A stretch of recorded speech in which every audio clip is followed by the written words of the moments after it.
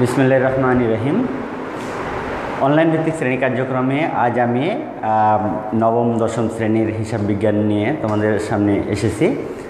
আজকে আমরা রেয়ামিল নিয়ে আলোচনা করব। এখানে ট্রায়াল ব্যালেন্সে বিষয়বস্তু, প্রয়োজনীয়তা সব কিছু আমি তুলে ধরবো এবং তোমরা বোঝার চেষ্টা করবে। ট্রায়াল ব্যালেন্স কেন, কী জন্য প্রয়োজন হয়? এখানে আর্থিক বিবরণী তৈরি করার পূর্বে মূলত ট্রায়াল ব্যালেন্সগুলো করা হয়। কারণ হিসাবের শুদ্ধতা যাচাই করেই আর্থিক অবস্থা বিবরণ তৈরি করা হয়। যখন আমরা রেয়ামিলটা সঠিক পাবো, নিশ্চয়ই করে আর্থিক অবস্থা বিবরণটাও সুন্দর মতো আমরা সঠিক করতে পারব। বিধায় রেয়ামিলের গুরুত্ব অত্যাধিক। তাহলে রেয়ামিলের যে বিষয়গুলো আমি আলোচনা করব, একটা করে পয়েন্ট নিয়ে আমরা এগোবো। সেটা হলো আমরা এখানে আসতে পারি যে রেয়ামিলের আসলে কোন বিষয়টা শুরুতে কি ধরনের হওয়া উচিত এ বিষয়টা আমি একটু বলে নিই। যেমন রেয়ামিল মূলত খতিয়ান উদ্বৃত্তগুলো নিয়ে তৈরি হয়, ডেবিট উদ্বৃত্ত এবং ক্রেডিট উদ্বৃত্ত। মোট ডেবিট সমান সমান মোট ক্রেডিট মিলে যাবে এবং রেয়ামিলও মিলে যাবে। তাহলে কেন মিলে যাবে, এটা তো একটা বিষয়। বিষয়টা হলো আসলে আমরা নিশ্চয়ই জানি জার্নাল, অর্থাৎ জাবেদা, মোট ডেবিট সমান সমান মোট ক্রেডিট থাকে, অর্থাৎ ডেবিট পক্ষ সমান সমান ক্রেডিট পক্ষ হয়, এবং জার্নাল থেকেই তো খতিয়ান উদ্বৃত্ত, খতিয়ান উদ্বৃত্তগুলো তো র্যামে যায়। সুতরাং যেহেতু শুরু থেকেই মোট ডেবিট ইকুয়াল টু মোট ক্রেডিটে আসে র্যামিলও এই কারণেই মোট ডেবিট সমান সমান মোট ক্রেডিট হবে। যদি না হয়, বুঝতে হবে এখানে জার্নালে অথবা লেজারে ভুল আছে। সুতরাং এই ভুলগুলো উদ্ঘাটন করার জন্য রেয়ামিল অত্যন্ত প্রয়োজনীয়।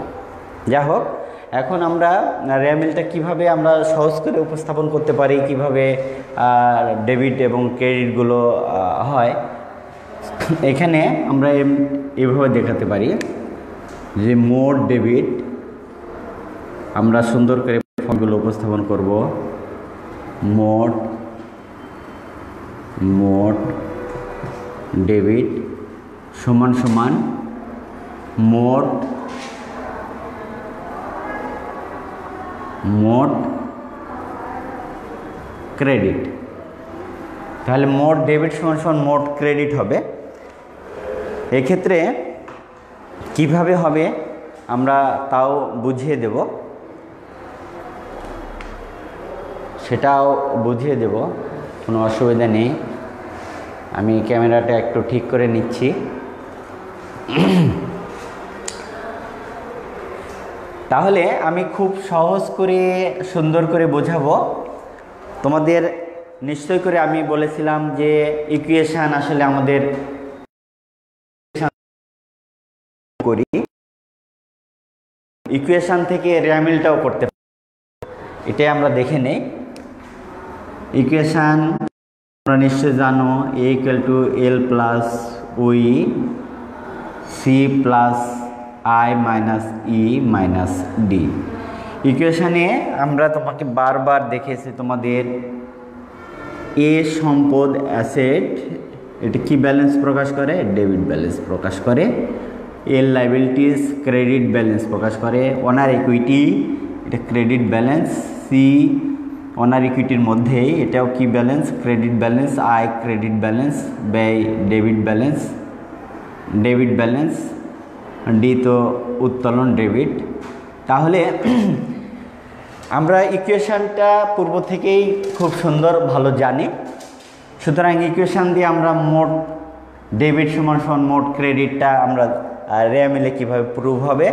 এখানে যেমন এই সম্পদটা দুইটা আনতে হবে। তাহলে মোট সম্পদ মোট সম্পদ মোট সম্পদ ইকাল টু এরপরে কি আসবে? ব্যয় সমূহ আসবে এখানে, ব্যয়। আমি মূল বিষয়টা লিখছি। ব্যয় সমূহ ব্যয় সমূহ তাহলে আমরা মেন বিষয়গুলো নিয়ে আসছি। ডেবিট পাশে এলো মোট সম্পদ, মোট ব্যয়, আর অন্যান্য আনুষঙ্গিক করব। আমরা মূল ফরম্যাটটা দেখাচ্ছি। আর এই পাশে হলো কি আসবে? মোট দায়। মোট মোট দায়। এরপরে মোট দায় মালিকানা সত্ত্ব আমরা দিতে পারি।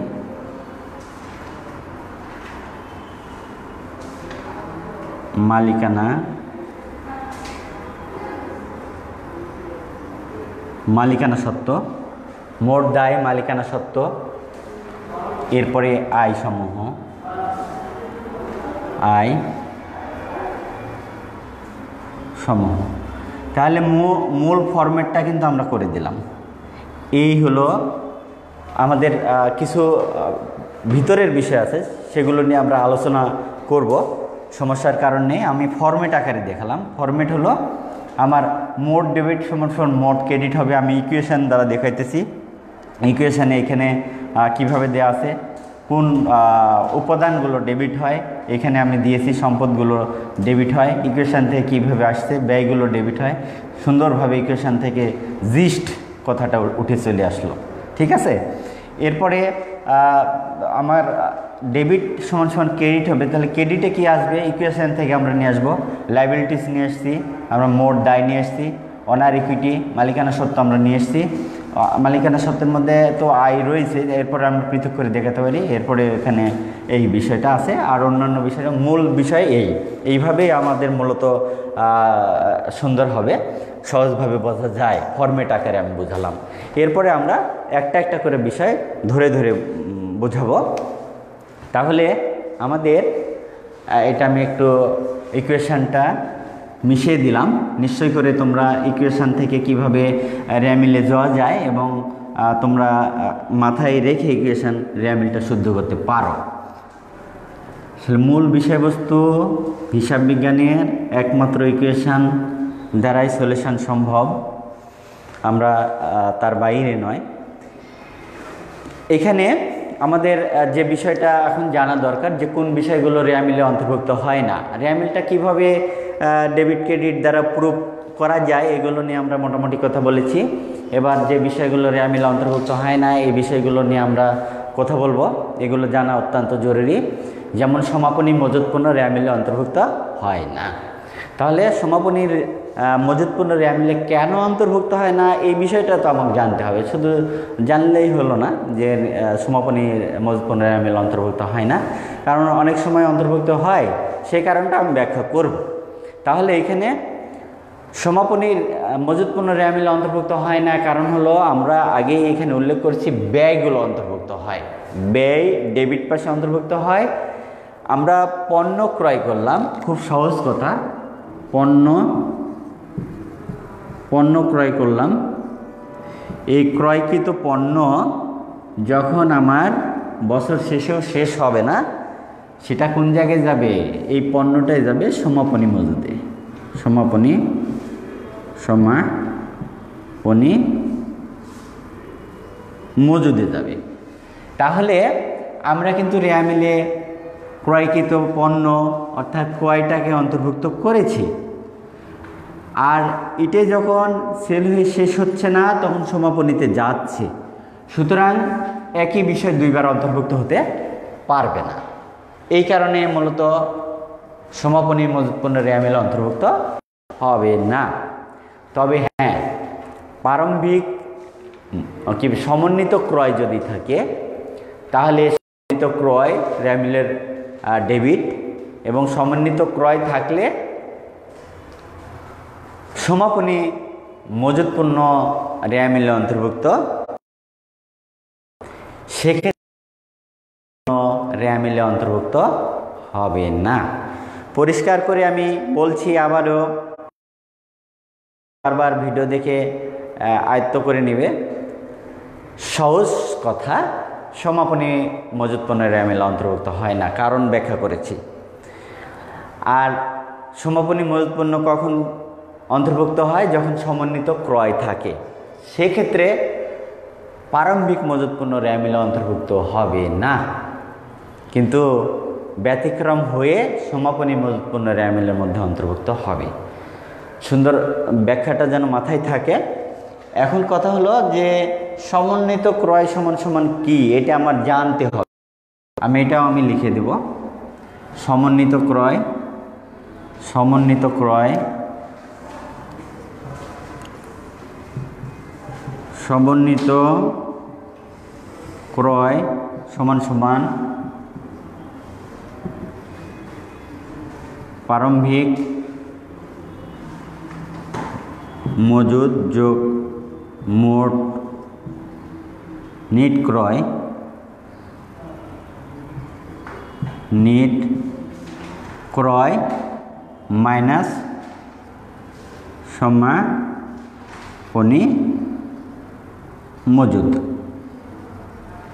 মজুদ। এটা জানতে হবে, কারণ এগুলো উদ্দীপকে অর্থাৎ সৃজনশীলে সমন্বিত ক্রয় চাওয়া হয় বা যে কোনো উপাদান চাওয়া হতে পারে। একটা উপাদান মিসিং দিয়ে যেমন নেট ক্রয় মিসিং দিয়ে নেট ক্রয় চাওয়া হতে পারে। তাহলে আমার অন্যান্য অপশান যদি থাকে, আমি ইকুয়েশানে ফেলে সুন্দর করে আমি নেট ক্রয়ের পরিমাণ বের করতে পারি, সমাপনী মজুদের পরিমাণ বের করতে পারি, প্রারম্ভিক মজুদের পরিমাণ বের করতে পারি, অর্থাৎ যদি আমার এক, দুই, তিন, চারটা উপাদান আছে, চারটা উপাদানের মধ্যে একটা উপাদান মিসিং থাকে, তাহলে অন্য উপাদানগুলো ইকুয়েশনের মাধ্যমে আমরা বের করতে পারি। এই জন্য এই সমন্বিত ক্রয় সমান সমান আমাদের জানতে হবে ইম্পর্টেন্ট বিষয়। ঠিক আছে? তাহলে আমরা আলোচনা করেছি সমাপনী মজুদ পণ্য এবং প্রারম্ভিক মজুদ পণ্য কখন অন্তর্ভুক্ত হবে, আবার কখন অন্তর্ভুক্ত হবে না। সেক্ষেত্রে এই দুইটা বিষয় পরিষ্কার। আমি আবারও সংক্ষেপে বলব, প্রাথমিকভাবে সমাপনী মজুত পণ্য র্যামিলে অন্তর্ভুক্ত হবে না। কিন্তু সমন্বিত ক্রয় থাকলে সমাপনী মজুত র্যামিল সেক্ষেত্রে প্রারম্ভিক মজুত পণ্য র্যামিল অন্তর্ভুক্ত হবে না। এটাই ক্লিয়ার আমি সংক্ষিপ্ত রূপে এটা বলে দিলাম। তোমার তোমরা বুঝতে পারছ কি না তোমাদের কোনো অসুবিধা আছে কি না এগুলো আমি একটু দেখে নিচ্ছি। কোনো অসুবিধে নেই। তাহলে এরপরে আমরা আসব, এরপরে আলোচনায় আসব তোমাদের। চলতি সম্পদ, চলতি সম্পদের ক্ষেত্রে প্রারম্ভিক উদ্বৃত্তগুলো অন্তর্ভুক্ত হবে না, কিন্তু সমাপনী উদ্বৃত্তগুলো অন্তর্ভুক্ত হবে। তাহলে চলতি সম্পদের মধ্যে কি পড়ে? এই বিষয়গুলো আমরা যদি ভেঙে ভেঙে বলি, তাহলে আমরা এইভাবে বলতে পারব। নগদ প্রারম্ভিক ব্যালেন্স অন্তর্ভুক্ত হবে না। ব্যাংক জমা ব্যালেন্স অন্তর্ভুক্ত হবে না। এরপরে আসি আমার প্রাপ্য হিসাব। এগুলো চলতি সম্পদ। তাহলে এইগুলো আমার প্রারম্ভিক ব্যালেন্সগুলো অন্তর্ভুক্ত হবে না। আমি তিনটা নাম করেছি, এই তিনটা মনে রাখতে হবে। এই তিনটার বাইরে সাধারণত তোমাদের আপাতত দরকার হবে না। সেটা হলো নগদ, ব্যাংক জমা আর হলো প্রাপ্য হিসাব বা দেনাদার। এটা আমরা চলতি সম্পদের ক্ষেত্রে বলেছি। কারণ আমার প্রতিষ্ঠানের প্রারম্ভিক, আমি একটা উদাহরণ দ্বারাই পরিষ্কার করি, প্রারম্ভিক এক কোটি টাকা ছিল। তাহলে প্রতিষ্ঠানে প্রারম্ভিক এক কোটি টাকা ছিল এবং বছর শেষে আমার প্রতিষ্ঠানে ক্যাশ টাকা আছে এক হাজার টাকা। তাহলে আমার ছিল, আমি মূল্যায়ন করছি প্রতিষ্ঠানকে বছর শেষে। তাহলে আমার প্রারম্ভিকে ছিল এক কোটি টাকা, আমার বছর শেষে আছে এক হাজার টাকা। তাহলে ছিল, তার দ্বারা আমি তো ছিল বলে আমার কোনো ফাংশানে আমার কাজে আসবে না। আমার আসলে বাস্তবিকই কত আছে? কত আছে? সমাপনীতে আছে এক হাজার।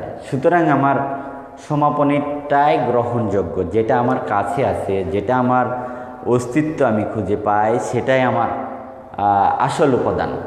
আমার ছিল বলে কোনো কথা নেই। তাহলে কথাটা এখন পরিষ্কার যে আমার অস্তিত্ব ভিত্তিক কোন উপাদানটা আছে এবং সেটাই আমার গ্রহণযোগ্য। ক্যাশ অর্থাৎ চলতি এই ধরনের সম্পদের ক্ষেত্রে এটা ফ্লেক্সিবল হবে, কমবে, বাড়বে, সুতরাং বাড়তেও পারে। আমি এক হাজার ছিল বলে এটা নেগলেক্ট করার কোনো কারণ নেই, দুই কোটি টাকা হতে পারে বছর শেষে। তাহলে আমি দুই কোটি টাকাকে ভ্যালুয়েশন করব। সুতরাং এইগুলো কারণে মূলত এগুলো প্রারম্ভিকটা অন্তর্ভুক্ত হবে না, সমাপনীটা অন্তর্ভুক্ত হবে, আশা করি বোঝাতে পেরেছি। এরপরে আমরা যাব চলতি দায়ের ক্ষেত্রে। চলতি দায়ের ক্ষেত্রে যেমন প্রদেয় হিসাব, পাওনাদার, এগুলো যদি বছরের শুরুতে আমার অনেক বড় পরিমাণ টাকা থাকে এবং বছর শেষে অল্প পরিমাণ টাকা থাকে অথবা বছরের শুরুতে অল্প থাকে, বছর শেষে বেশি থাকে, অর্থাৎ শুরুরটা গ্রহণযোগ্যতা হবে না, গ্রহণযোগ্য হবে না। সমাপনীটাই গ্রহণযোগ্য হবে কারণ আমরা সমাপনীতে এই প্রতিষ্ঠানকে মূল্যায়ন করি। সুতরাং এক্ষেত্রে কোনটা অন্তর্ভুক্ত হবে, কোনটা অন্তর্ভুক্ত হবে না, আমাদের কাছে পরিষ্কার। প্রারম্ভিক নগদ, প্রারম্ভিক ব্যাংক জমা, প্রাপ্য হিসাব, প্রারম্ভিক প্রারম্ভিক দেনাদার, এগুলো অন্তর্ভুক্ত হবে না, সমাপনীগুলো হবে। এরপরে প্রদেয় হিসাব, প্রদেয় নোট, পাওনাদার, এগুলো প্রারম্ভিকগুলো অন্তর্ভুক্ত হবে না, কিন্তু সমাপনীগুলো অন্তর্ভুক্ত হবে। তাহলে আমাদের কোন বিষয়গুলো অন্তর্ভুক্ত হবে, কোন বিষয়গুলো হবে না, আমরা পরিষ্কার। এরপরে আসি আমাদের সমাপনী মজুদ পণ্য সমাপনী মজুদ পণ্য আমরা আলোচনা শেষ করেছি, কিন্তু সমাপনী মণিহারি এখানে আমরা আনব। সমাপনী মণিহারি ঠিক সমাপনী মজুদ পণ্যের মধ্যেই অন্তর্ভুক্ত হবে না। প্রারম্ভিকটা অন্তর্ভুক্ত হবে।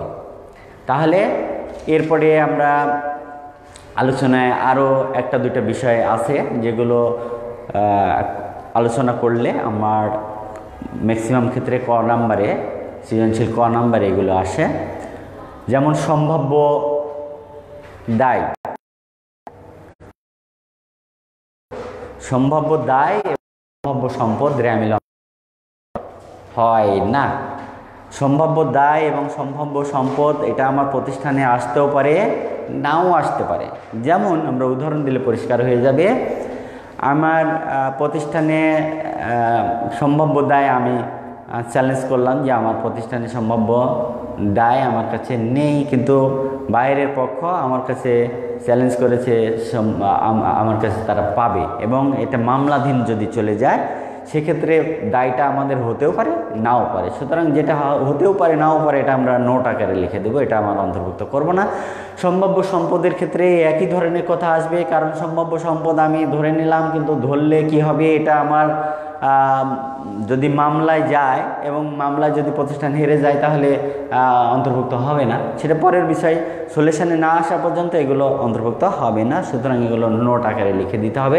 আর একটা বিষয় গুরুত্বপূর্ণ রয়ে গেছে সেই বিষয়টা আমি বিষয়গুলো যেমন আসতে পারে, যে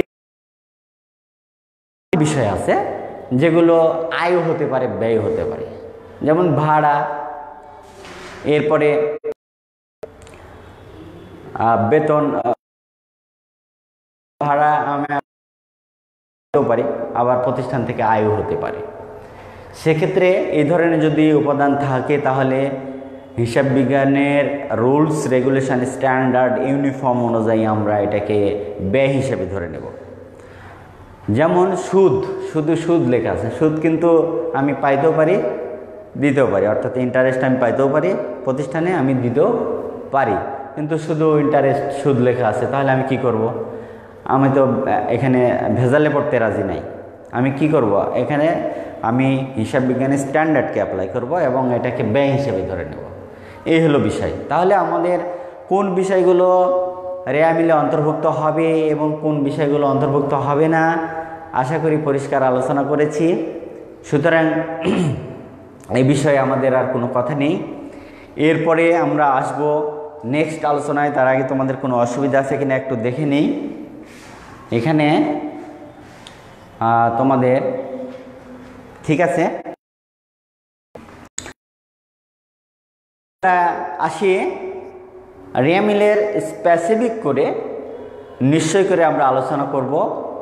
ডেবিট পাশের হলো ভেঙে ভেঙে এবার আলোচনা করব। আমরা কিন্তু ভেঙে ভেঙে আলো- আলোচনা আগে করি নাই। এরপরে র্যামিলের ক্রেডিট পাসের বিষয়গুলো আমরা ভেঙে ভেঙে আলোচনা করব, যেগুলো আমরা এক নজর আলোচনা করেছি এই বিষয়গুলো জানলে আসলে আমাদের কাছে র্যামিলে যে ধরনের প্রশ্নই আসুক না কেন র্যামিল আমাদের কাছে ক্লিয়ার এবং সুন্দর অ্যান্সার করতে পারব। আমাদের কোনো পেরেশানি হবে না। আমরা আবারও সংক্ষিপ্ত বিষয়টাকে আমরা ব্রড আকারে নেব। ইকাল টু এল প্লাস ওই C plus I minus E minus D তাহলে নিশ্চয় করে এটা আমরা অলরেডি আলোচনা করেছি। এখন আমরা র্যামিলের অর্থাৎ ট্রায়াল ব্যালেন্সের ডেবিট বিষয়টা আমরা নিয়ে আসব।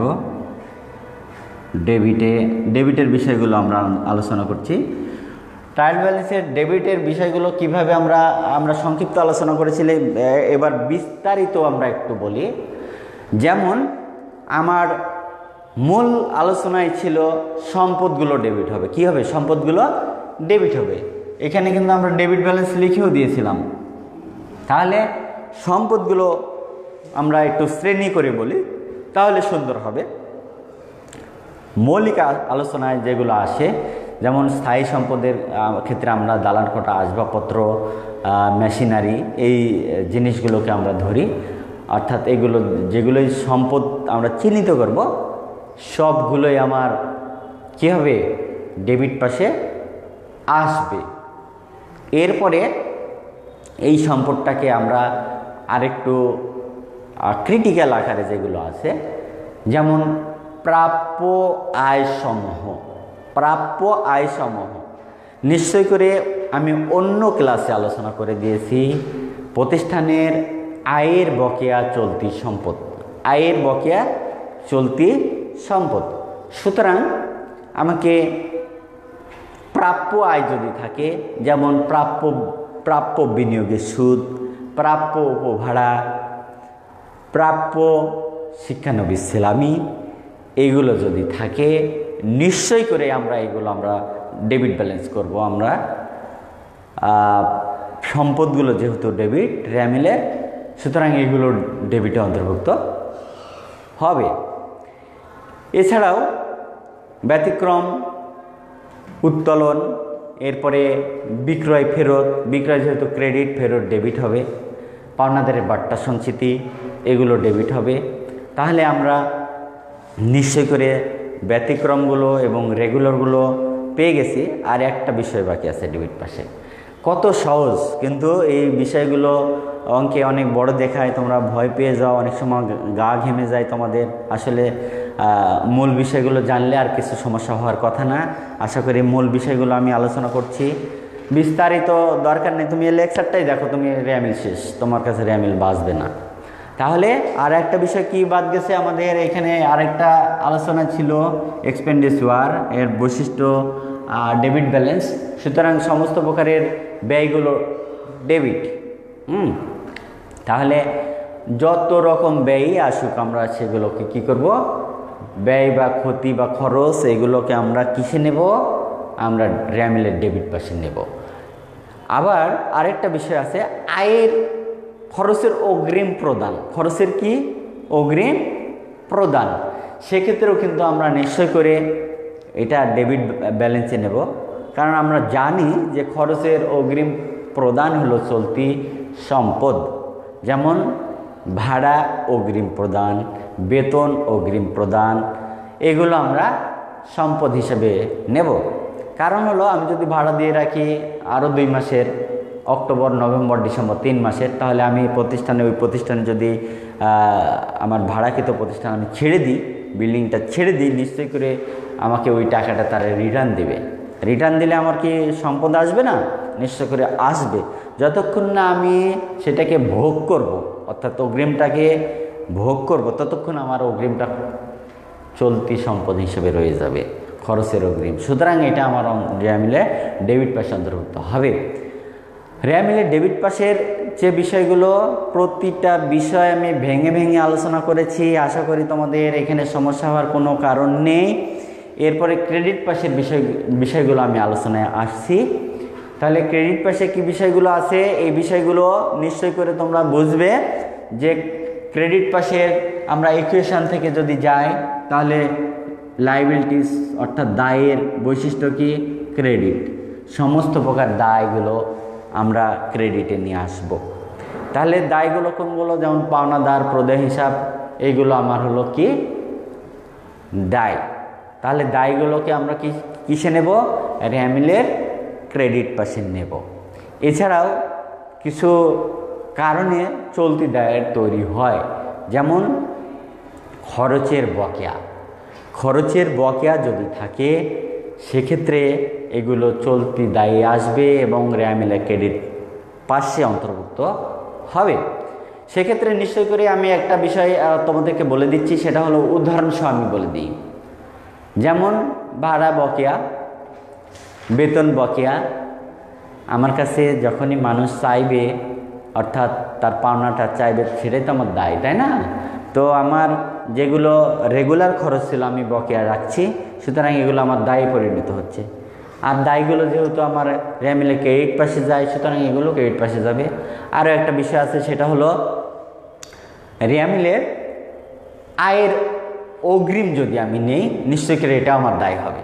যেমন আমি একজন আইনজীবী, আমি আমার কাস্টমারকে বললাম যে, আপনার তো বিশাল কেস এই কেসের তো আপনার সমস্যা আছে। তো এগুলো আমাকে রাত দিন চিন্তা করতে হবে। আমাকে আপনি অগ্রিম এক কোটি টাকা বা পঞ্চাশ লাখ টাকা দিয়ে দিন, এরপরে আমি আস্তে আস্তে আপনার কেসের ডেট পড়বে, ওগুলো কাটাই দেব। তাহলে আমার কাস্টমার তো ভয়ে থাকবে, নিশ্চয় করে সে মার্ডারে আসামি হতে পারে, বড় ধরনের আসামি, সে হলে পঞ্চাশ লাখ টাকা আমাকে দিতে দ্বিধাবোধ করবে না। বিধয় সে আমাকে টাকা অগ্রিম দিয়ে দিল, কিন্তু তার দিনে দিনে ডেট পড়বে এবং তার টাকাগুলো আস্তে আস্তে কাটতে থাকবে। যতক্ষণ নাচ কাটা শেষ হবে, ততক্ষণ আমার কাছে অগ্রিম রয়ে যাবে এবং এটা আমার দায়ী। সুতরাং এটা অগ্রিম, আয়ের অগ্রিম, আমার কি হবে দায় পাশে অন্তর্ভুক্ত হবে? আমরা নিশ্চয় করে বলতে পারি যেমন অগ্রিম শিক্ষানবিশ কি, সালামি? এরপরে অগ্রিম প্রাপ্য অগ্রিম আয়সমূহ এটার মধ্যে আসে, অগ্রিম উপহারা, এগুলো আমরা নিতে পারি। এরপরে আমরা আর কি দিয়ে এই পাশে নিশ্চয় করে সকল প্রকার সঞ্চিতিগুলো অনাদারের বাটা সঞ্চিতি আমরা ডেবিট পাশে দিয়েছি। সুতরাং সকল প্রকার সঞ্চিতিগুলো আমরা কি, কিসে দেব? আমরা ক্রেডিট পাশে দেব। এগুলো আয়ের উদ্বৃত্ত থেকে এগুলো রাখা হয়, সুতরাং এটা ক্রেডিট দিকে রাখা হবে, আয়গুলো যেহেতু ক্রেডিট সুতরাং এটা ক্রেডিট হবে। এছাড়া মূলধন, মূলধনকে আমরা কোন দিকে দেই? মূলধনকে নিশ্চয় করে আমরা ক্রেডিট পাশে দিই। মাল, মূলধন তো মালিকানা সত্ত্ব। মালিকানা সত্ত্ব কিন্তু আমার এই যে এর আইটেম এটা, এর বৈশিষ্ট্য ক্রেডিট এরও বৈশিষ্ট্য ক্রেডিট সুতরাং এটা সহজভাবে আমরা বলতে পারি। আর আয়গুলো তো আমরা আলোচনা করেছি আয় আয়গুলো ক্রেডিট ব্যালেন্স সমস্ত প্রকার আয়গুলো আসবে। ক্রেডিটে আসবে। সুতরাং ক্রেডিট পাশের আলোচনা আমাদের প্রায় শেষ। তবে হ্যাঁ আরেকটা বিষয় আমরা বলব, যেমন ক্রয় ছিল ডেবিট আর ক্রয় ফেরতটা যখন হবে, নিশ্চয় করে এটা হবে কি? ক্রেডিট হবে। এই হলো রেয়ামিলের মূল বিষয়। আরেকটু ব্যতিক্রম দু একটা বিষয়ে আলোচনা করা যায়। যেমন কুরিন। কুরিন আমার খরচ যেমন ব্যাড ডেটস নামে থাকতে পারে, এটাও আমার তাহলে ডেবিট ওটাও ডেবিট কুরিন ব্যাড ডেটস এগুলো নামে থাকতে পারে। এরপরে আমরা আরও বলতে পারি, যেমন ক্রয় খতিয়ানের জের। ক্রয় আমার কি? ডেবিট কিন্তু ক্রয় খতিয়ানের জের আবার পাওনাদার। পাওনাদার তাহলে পাওনাদার ডাইরেক্ট না লিখে কি থাকতে পারে? ক্রয় খতিয়ানের জের তাহলে ক্রয় খতিয়ানের জের থাকলে নিশ্চয় করে আমরা পাওনাদার বুঝব এবং এটাও ক্রেডিট পাশে বুঝবে এবং বিক্রয় খতিয়ানের জের এটাকে বিক্রয় আমরা ক্রেডিট করি, কিন্তু বিক্রয় খতিয়ানের জের হলো ডেটর্স দেনাদার। সুতরাং এটা আমাদের কি হতে পারে? দেনাদার তো আমার ডেবিট হবে, কারণ এটা আমার সম্পদ। তাহলে আমরা এইভাবে বিস্তারিত আলোচনা করতে পারি। তোমাদের কোনো সমস্যা আছে কি না আমি আজকে আর বেশি বাড়বো না, কারণ এই বিষয়গুলো তোমাদের জানা অত্যন্ত জরুরি। তোমরা যদি, আমি যতটুকু আলোচনা করেছি একদম র্যামিলের একদম মূল বিষয়গুলো টেনে নিয়ে এসেছি। আমি কথার কথা বিশ মিনিট ক্লাস নিয়েছি বা পনেরো মিনিট ক্লাস নিয়েছি। এই ক্লাসের মধ্যে র্যামিলের সার অংশ, সার মর্ম সব কিছুই আছে এবং এই চ্যাপ্টারের সব অঙ্কগুলোই সলিউশন করা যাবে। আরও টুকটাক যে বিষয়গুলো আছে, অন্য ক্লাসে আমরা আলোচনা করেছিলাম, তবে আমরা যখন সৃজনশীল ধরবো, আগামী ক্লাস থেকে আমরা ধরতে পারি।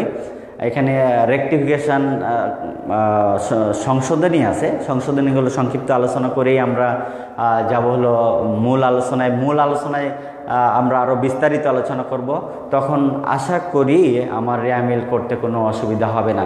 আমার রিকোয়েস্ট একটাই, সেটা হলো আমি র্যামিলের কোন বিষয়গুলো অন্তর্ভুক্ত হবে, কোন বিষয়গুলো অন্তর্ভুক্ত হবে না, কোনগুলো ডেবিটে অন্তর্ভুক্ত হবে, কোনগুলো ডেবিটে অন্তর্ভুক্ত হবে না, কোনগুলো ক্রেডিটে অন্তর্ভুক্ত হবে, কোনগুলো হবে না, বিস্তারিত আলোচনা করেছি। এই ক্লাসটা দয়া করে তোমরা দুইবার, তিনবার দেখবে র্যামিল মাথার মধ্যে প্রিন্ট হয়ে যাবে। পুরো এনভায়রনমেন্ট প্রিন্ট হয়ে যাবে। সব কিছু সহজ হয়ে যাবে ইনশাল্লাহ। আর আগামী ক্লাসে আমরা র্যামের উপরেই থাকব। আর আজকের মতো এখানেই শেষ করছি। আল্লাহ হাফেজ।